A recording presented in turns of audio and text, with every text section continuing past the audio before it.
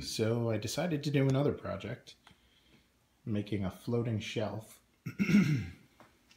I cut some pallets that I got from work with the uh, miter saw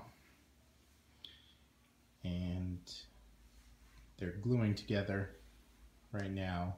I mean, I've already glued them together, but they're curing. I'm gonna leave them overnight. Tomorrow I'll sand whatever glue's left over. And then I'm gonna build a little uh, contraption that goes with the floating shelf. Anyways, that's it. Super easy. Probably took an hour of sanding at least. And then another pro tip, you can never have enough clamps. Until next time.